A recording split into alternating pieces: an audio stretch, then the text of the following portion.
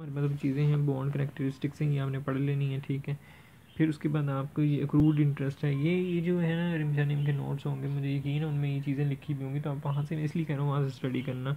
Book को ना, बस इतना ना, देखो बस जिस तरह जैसे मैं कुछ चीज़ें बता रहा हूँ, वो चीज़ें देख लेना ठीक है।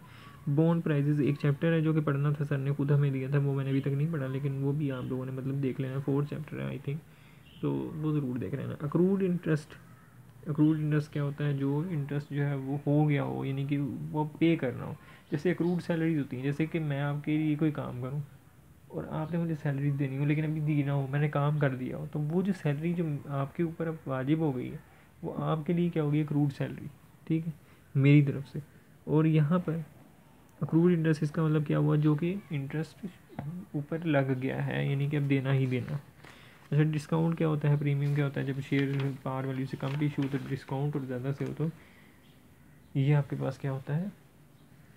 प्रीमियम होता है। अच्छा यहाँ पर टाइप्स ऑफ़ बॉन्ड्स हैं किस्म की। ये जो चार डब्बे हैं, इनमें जो चीज़ें लिखी हैं, वो ये इसमें बताया हुआ है कि जो सिक्योरिटीज़ इशू करती हैं ना, वो चार किस्म के लोग हैं। लोग कह लो कंपनीज़ कह लो इंस्टीट्यूट कह लो, ठीक है?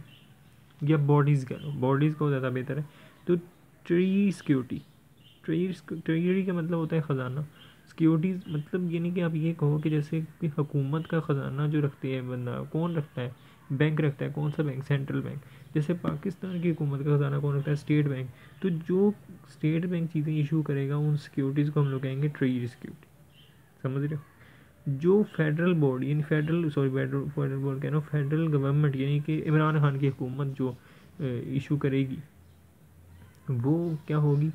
फेडरल फेडरल सिक्योरिटीज़ और म्यूनसिपल ये पाकिस्तान में नहीं होती, लेकिन अगर फ़र्ज़ कर लो कि पंजाब हुकूमत का, पंजाब हुकूमत का जो सरबराह है, जो कि बुजदार साहब हैं, अगर वो इशू करें तो वो क्या होगा? वो म्यूनसिपल सिक्योरिटी होगी, ठीक है? वो पंजाब की म्यूनसिपल सिक्योरिटी होगी। कॉरपोरेशन मतलब कोई कंपनी इशू करे। म्यूनसिपल में आप ये भी कह सकते हो कि अगर कराची का करे सिंध का तो वो सिंध की होगी म्यूनसिपल तो यहाँ पर कॉपरेट कौन सी हुई जो कि कंपनी इशू करेगी? दोनों में मतलब चारों में ये अपनी इस तरह याद रख लेना है, ठीक है? उसके आगे ये जो कॉमन स्टॉक है, इसको आपने देख लेना है। ये दूसरी सिक्योरिटी हमारे पास आई है फिक्स्ड इनकम वाली में। ये मेरा ख्याल है दूसरी सिक्योरिटी है, ठीक है? जैसे हमने बॉन्ड पढ़ी थी, उसके बाद ये आई है। तो ये आपने देख लेनी है। बीच में भी अगर कोई आई हो तो वो आपने देख लेनी है हमारा इसकी भी करेक्टरिस्टिक जैसे बॉन्ड की की उस तरह देख लेना है आप लोगों ने। ये स्टॉक डिविडेंड क्या होता है? स्टॉक डिविडेंड और स्टॉक सिबिलिटी के पता ही होगा आपको डिविडेंड जब डिविडेंड हम लोग पैसों की बजाय शेयर्स में देते हैं मतलब आप शेयर होल्डर हो मेरे, ठीक है? मैं कंपनी हूँ, आप मेरे शेयर होल्डर हो। आप लोगों ने कोई, मुझे कोई प्रॉफिट हुआ और मैं आपको पैसे दे नहीं पा रहा, ठीक है? प्रॉफिट हुआ लेकिन पैसे नहीं दे पा रहा तो मैं क्या करूँगा? मेरे पास शेयर्स पड़े हुए मैं आपको शेयर्स मज़ीद इशू कर दूँगा। तो उसे कहते हैं स्टॉक डिविडेंड ठीक है? मतलब मैंने स्टॉक दे दिया डिविडेंड में। मैंने पैसे नहीं दिए। अगर मैं पैसे दूँगा तो उसे कहेंगे कैश डिविडेंड स्टॉक स्प्लिट क्या होता है? मैं क्या करूँगा? तो स्टॉक डिविडेंड देने से कुछ नहीं होता, फ़र्क नहीं पड़ेगा। नंबर ऑफ़ शेयर्स इंक्रीज़ हो जाएँगे, जो कंपनी के आउटस्टैंडिंग होंगे। पहले दस हज़ार शेयर थे, मैंने आपको पाँच शेयर ऑर्डर कर दिए तो दस हज़ार और पाँच शेयर मज़ीद ठीक है?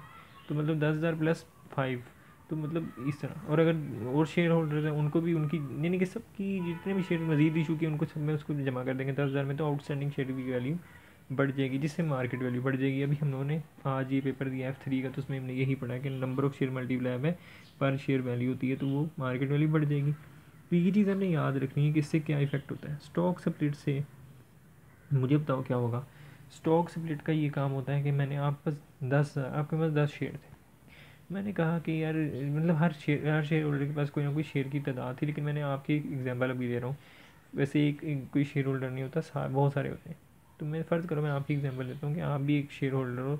मैं ये डिसाइड करता हूँ मैनेजमेंट के साथ मिल के कंपनी की, कि ना इसके जो शेयर है ना मतलब मतलब लोगों के, जितने के लोगों के शेयर हैं, मैं उनको क्लोज स्टॉक सप्लिट कर ठीक है?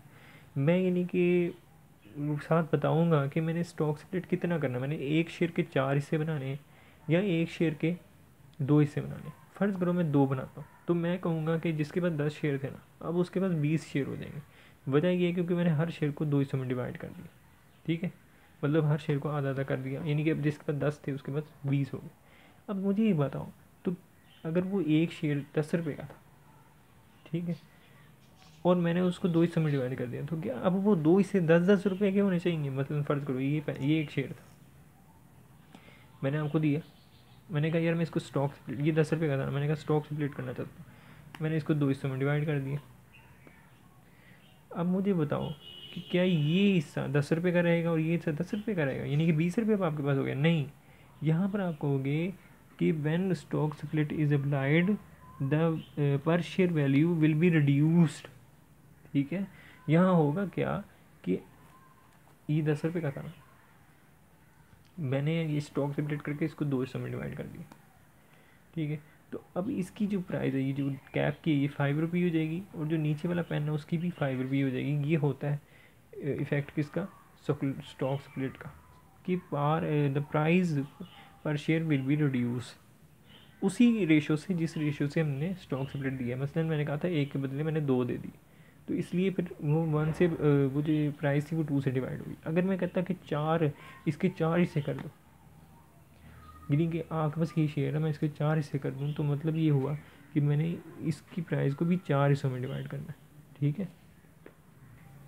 ये हम लोग ऑलरेडी आज सुबह भी पढ़ चुके हैं पी रेशो की होती है अच्छी तरह, और हाउ डिविडेंड आर पेड ये अच्छा हाउ डिविडेंड आर पेड यहाँ पर जो है ना फ्यू कुछ टर्म्स हैं मतलब कुछ डेट्स हैं, वो हम लोग देख लेते हैं, वो बड़ी इंपॉर्टेंट है, वो समझने वाली हैं, क्योंकि वो इंडेक्स में भी यूज़ होंगे।